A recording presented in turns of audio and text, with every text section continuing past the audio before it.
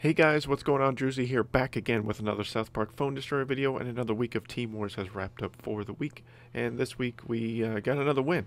Over 5,000 score with only 46 runs, I think is a pretty good accomplishment for the team. We did uh, I did pretty darn well in uh, this Team Wars, 114 score. I will not showcase the matches in this video. I have another route I would like to go here towards the end.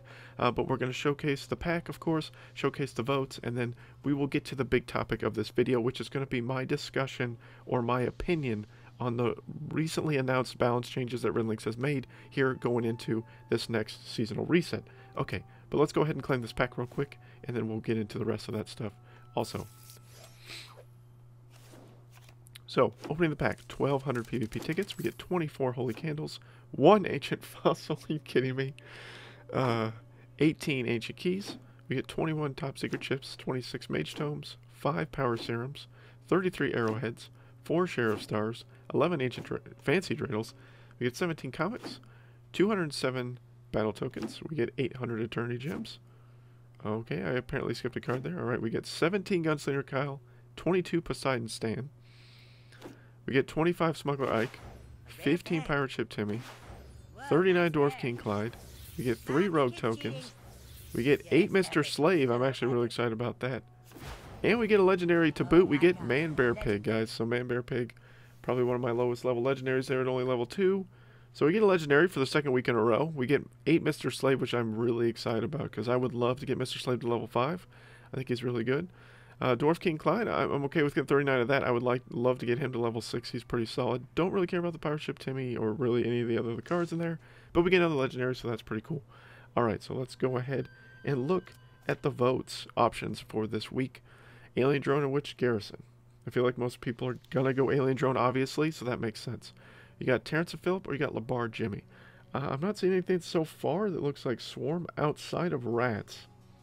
So the bar to me doesn't make a lot of sense. T TMP definitely makes more sense. As much as I love Amazingly Randy, my Bounty Hunter Kyle is higher level. He's level 5, and it makes more sense to buff these units. Uh, you got Tally and Rogue Token.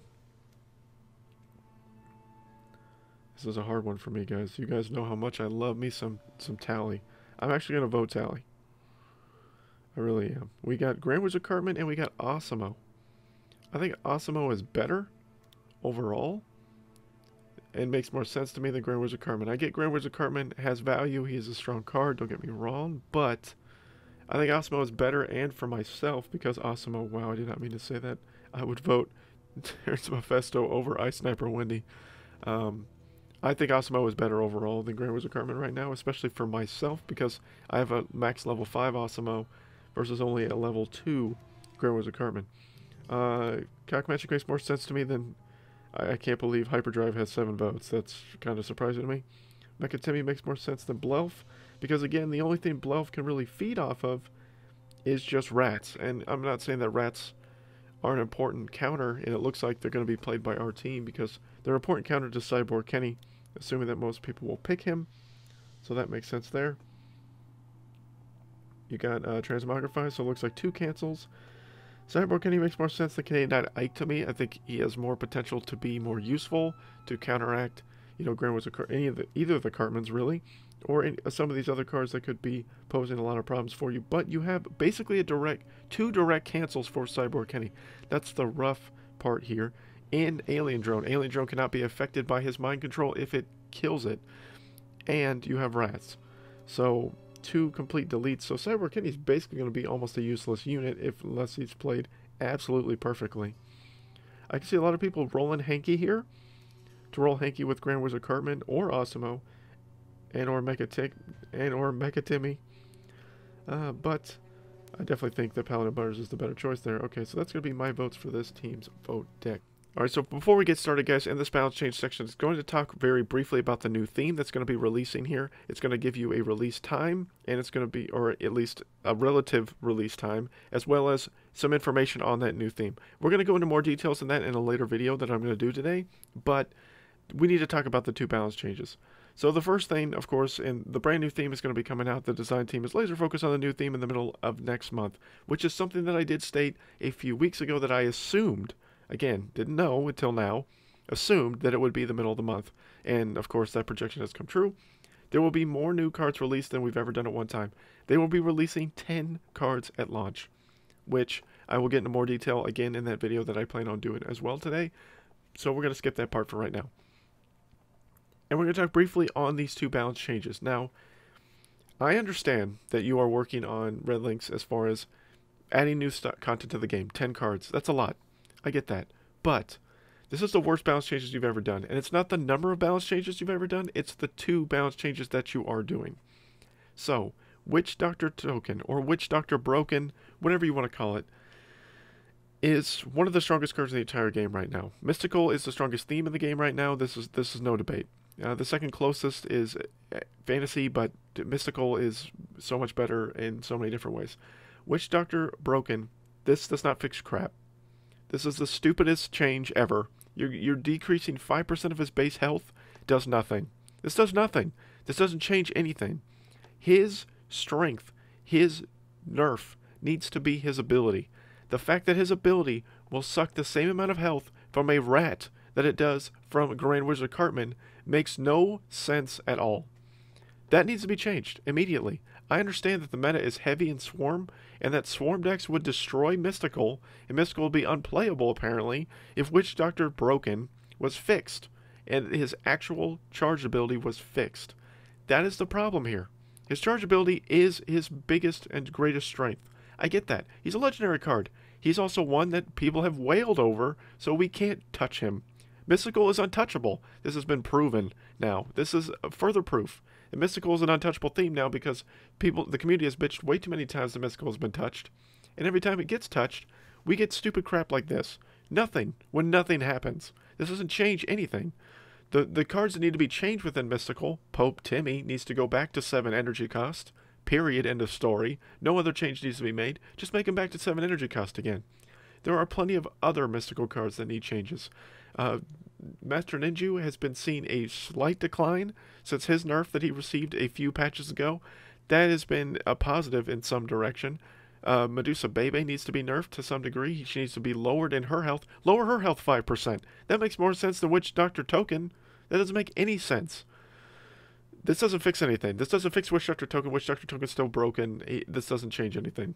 Period. I don't see any. I don't see 5% decrease in base health being enough to, to remove him from this game. And I'm not saying he needs to be removed from the game. He just needs to be changed and edited to where the amount of health change the mechanic of his ability, which is a lot to do, apparently, to where you make it to where the unit that he attacks affects how much health he gains. Make him gain even more health from tank units. Make it worth playing against tanks. Make it worth playing against Swarm. If he sucks up more units than one, buff that. Make that better. It sounds broken to some people, probably, but you have to make his actual ability make sense because it doesn't make sense right now. It doesn't make sense that one, regardless of strength of unit, same amount of healing or health regeneration or whatever you want to call it in return. It's stupid. That needs to be changed immediately. This doesn't change anything. I'm going to stop sounding like a broken record about this. Witch Doctor Broken is still broken. Nothing has changed. Space Warrior Token reduced energy cost from 3 to 2. Okay, sci-fi is the worst theme in the game right now. Period. Of the major five, of the major four themes, we're not including neutral. Of the major four themes, it is the worst theme, without question. It needs more buffs than one change, and now Space Warrior Token is arguably the best two energy cost in the game. Better possibly better than Enforcer Jimmy, because at least he can do respectable damage now with his charge ability. You're not fixing any part of his kit or his ability of, of his card other than his energy cost, which is a positive, I guess. But people play Space Warrior Token all the time, especially in silver and in bronze. He has not played very much in Legendary Arena. That's why this change has been made. All these changes are made, guys, for Legendary Arena. For those of you in lower arenas, they don't care. They don't care. They don't focus on balance changes for the lower arenas. They focus on balance changes for legendary arenas, for the ones that spend exuberant amounts of money, right? So that's why these changes are always put into consideration. So you can't touch Mystical because, again, it affects the whales that have whaled on Mystical for so long because they have mystical events every other weekend. So therefore, they can have plenty of big offer packs for Mystical. So we have Space Warrior token losing an energy cost. This is a good buff and could possibly be a too good buff because of the fact that he is actually again played in the lower arenas. So have fun in the lower arenas dealing with Dougies and now Space Warrior tokens because they're going to be everywhere in silver. So if you guys are still in Silver Shield, have fun with that. That's going to be happening. Number the biggest token that needs a balance change is Shaman. Where the hell is he in this? Why is Shaman token not two energy cost? Hell, make Shaman token one energy cost because he's not useful at all. His ability is trash his his score, uh, like his actual stats, are not good. I mean, I guess they're okay for a common card, but common cards aren't good right now for the most part, except for Blood Elf Bebe, which I'm surprised she's not getting nerfed. When, when is she going to get nerfed, guys? Uh, I'm just waiting for that to happen. I'm about to get her to level 6. I, I have eight more copies I need to get her level 6. I know that, that the next balance change round comes around, I'm going to have her to level 6, have some fun with her at level 6, with the new theme maybe, and then bam, she's going to get nerfed. Look out soon for a possible Blood Elf Bebe nerf, because that's we all know that's coming soon. It's got to be coming soon, right? Right, RedLynx? It's coming? I mean, what is this? What are these changes? I, I, again, the number isn't the problem. It's the changes that are being made. These changes make no effect to the game in a positive to me. And what do you guys? I just want to know what you guys think of the balance changes down below. Are you, do you agree, disagree with me with what I'm stating here? These changes make no concrete difference to the game, and that's what balance changes should do. They should make a concrete change to the game, and they're not doing it here. They completely missed the mark here, in my opinion. Uh, there are so many problems still. There are so many bugs still. And this is the changes that we're making. And we're adding 10 new cards to the game. Anytime we have a big change come to the game, the game crashes or breaks or a big giant failure starts. Send Cartman bug? Remember that one? That wasn't too long ago. Remember the hyperdrive bug? That was a little while further ago, but that was when the BFU launched. I'm just waiting for something astronomical to happen. I mean, are Dougies going to be unkillable? What's what's coming? I mean, what's what's the inevitable future that's coming here when these TED cards launch in three weeks? Most likely. I mean, I hope nothing happens. I'll be optimistic about it, but realistically, you know what what domino's going to fall next. Uh, what do you guys think again of the bounce changes down below? Hope you guys enjoyed this video. I know it was a little bit not enjoyable as far as my tone, but I felt like I needed to make a point here uh, that this these bounce changes are not good in my opinion. Uh, maybe you guys have different differentiating opinions on this. Maybe you guys agree, disagree with me. But thank you guys for watching. And until next time, guys, my name is Drewzy.